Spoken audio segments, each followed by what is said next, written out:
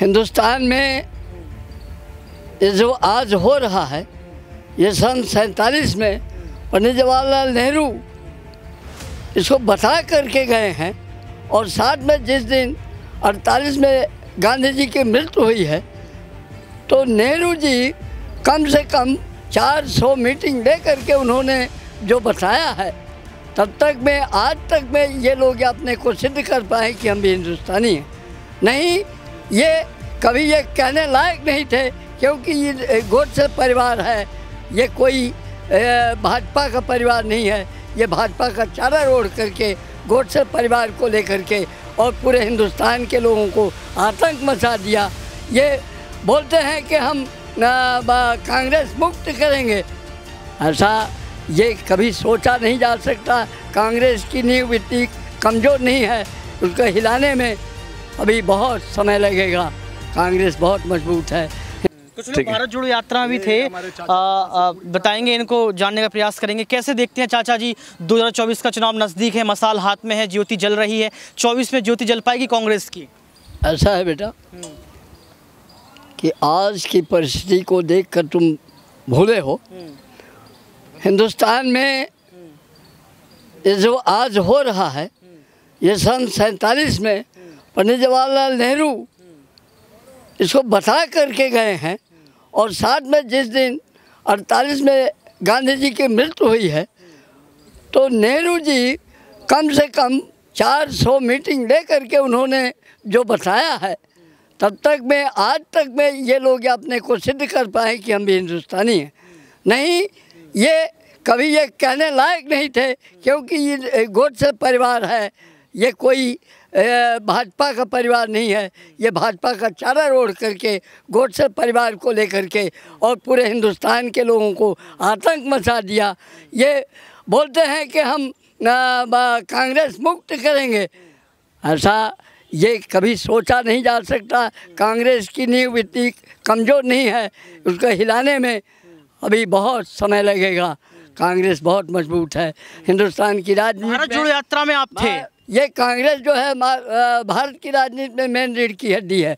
भारत जोड़ो यात्रा में मैं उस शहीद परिवार का न विभक्त जहाँ इंदिरा जी ने अपने खून बहाया और राजीव जी ने अपने सब टुकड़े टुकड़े कर दिया इस पब्लिक की सेवा में। उसके बीच का एक नवविभक्त जो ठान लिया, कन्याकुमारी से कश्मीर तक पैदल गया और जन जन के लोगों आ, आ, दिल में अपना स्थान बनाया मोहब्बत की बाज़ार खोल दिया। उसके साथ मैं आगे आगे चल करके पूरा कश्मीर तक यात्रा किया और भारत यात्रा को सफल बनाया। यात्रा शुरू हो रही है क्या कुछ नया देखने को मिलेगा? बिल्कुल बिल्कुल फिर से वही यात्रा हमारी चालू होगी और हम आगे आगे चल करके इन अपने नबीबकों को जो देख रहे हो इनके लिए मैं एक शक्ति वर्धक बन करके आगे चलता हूँ और चलता रहूँगा। और मैं अंत तक जी आपकी उम्र कितनी है? जन मैं इस दर्शकों समय। मैं इस समय 89 में चल रहा हूँ। पाँच अगस्त से 89 में प्रवेश कर गया हूँ। हाँ। कितने सालों से कांग्रेस पार्टी के साथ जुड़े हैं ये इकसठ में नेहरू जी ने मेरे कंधे पे हाथ रख करके सिंगरौली के आ, रहन बान में एक किलोमीटर तक गए वो और लोग साथ में चलते रहे। हाँ। राहुल गांधी से मुलाकात आपकी होती है तो क्या कुछ बातें करते हैं वो? आपसे क्या कुछ कहते हैं? वो मुझसे बहुत सारी बातें पुरानी सीखने की कोशिश करते हैं मैं बताने की कोशिश करता हूँ। जितना समय मिलता है उसमें एक देश प्रेम की बातें वो हमसे हमेशा करते चले जा रहे हैं। हाँ जन जन के अंदर ये प्रेम की भावनाएँ जो उठी हैं ये इस लहर को कोई मिटा नहीं सकता है। राजीव राहुल जो है निश्चित हमारा चौबीस में प्राइम मिनिस्टर बनेगा। राहुल गांधी को प्रधानमंत्री के रूप में आपने घोषित कर दिया। कैसे आप देखते हो उनमें क्या खासियत है? कैसे राजीव उनमें हाँ। बसते हैं? उसमें उस आ, राज राहुल गांधी में हमारे प्रेम और भाईचारे का एक जुनून भरा हुआ है भंडार भरा हुआ है जो हमारे इन नबीबकों के बीच में वो छोटा चला जा रहा है पप्पू बोल देते हैं वो तो नादानी है उनकी सोचने की नादानी है उनकी नज़रिया है वो पप्पू नहीं रह गया है वो है इस देश का प्रधानमंत्री और एक नायक के रूप में। भारत माता की। बिल्कुल देखिए दादाजी ने अपनी बात रख दी है ये बता दिया है कि 2024 में राहुल गांधी प्रधानमंत्री बनेंगे उनके अंदर जो है राजीव बसता है, और लोगों से जानने का प्रयास करेंगे, बात करने का प्रयास करेंगे कि मुद्दे बहुत हैं 24 का चुनाव भी नज़दीक है।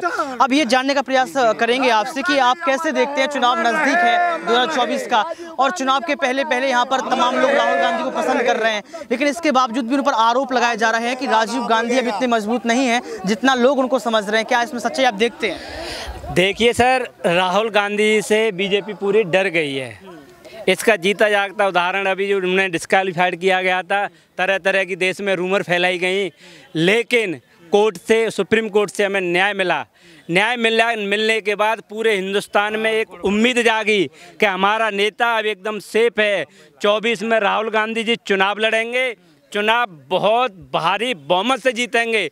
और जो इंडिया जो गठबंधन बना है पहले तो ये जो एनडीए जो गठबंधन बना है ये एनडीए मतलब फुल फॉर्म मैं आपको बताऊँगा, नेशनल दलाल पार्टी। एनडीए मतलब नेशनल दलाल पार्टी। इंडिया जीतेगा, हंड्रेड परसेंट जीतेगा, राहुल गांधी जी की लीडरशिप में, देश में डेवलपमेंट होगा। अब आप अपना क्वेश्चन कीजिए। सवाल मेरा ये रहेगा कि आरोप आप पर बहुत सारे लगाए जा रहे हैं। पहला आरोप कि भ्रष्टाचारियों का सम्मेलन है दूसरा आरोप टिकट बटेंगे तब दूर हो जाएँगे तीसरा आरोप प्रधानमंत्री का चेहरा जब डिसाइड किया जाएगा तब दूर दूर हो जाएँगे चौथा आरोप ये लगाया जा रहा है कि चुनाव नज़दीक आएँगे गठबंधन ही टूट जाएगा। ये आरोप देख रहे हैं ना आप? ये तो सर रूमर फैला रहे हैं। यदि आप इसकी अलायंस की बात करें तो एनडीए अलायंस में 38 दल हैं। अड़तीसों के 38 दल परिवारवादी हैं और सब के सब करप्शन में करप्ट हैं। जेल जाने से बाल बाल बच रहे हैं। और जिन अगर ये बीजेपी में न जाते तो ये अब तक जेल में होते। जितने बार हिंदुस्तान के जो भ्रष्ट नेता हैं, जो दलाल नेता हैं, जो रिश्वत लेते हैं रिश्वत देते हैं, यहाँ तक थाने में भी बो- बोली हो रही है। I belong to Mathura. Mathura में अभी परसों वहाँ पे नई बस्ती है एक, जो कि रेलवे के किनारे बहुत युग, युगों से चला आ रहा है उनका वहाँ पे अब उनको होमलेस कर दिया गया, बुलडोजर चल गया। उनको आप बताइए, जब हम किसी के घर को तोड़ेंगे तो क्या उस सबसे पहले हम उसको घर की व्यवस्था करेंगे, नहीं करेंगे? खुले में, चौरे में छोड़ दिए हैं, रो रहे हैं छोटे छोटे मासूम मासूम बच्चे मैं वहाँ दौरा करने गया। लेकिन हम विपक्ष में हम लोगों की आवाज़ को हाइड किया जा रहा है। मीडिया भी जैसे आप यहाँ पे एआईसी दफ्तर में कैमरा लगा रहे हैं, वहाँ पे मैं बोला था, लेकिन कोई नहीं बोला। मैंने मैं आपको बताऊँ, सर, मैंने पिछले लगभग सेवेंटी फाइव डेज़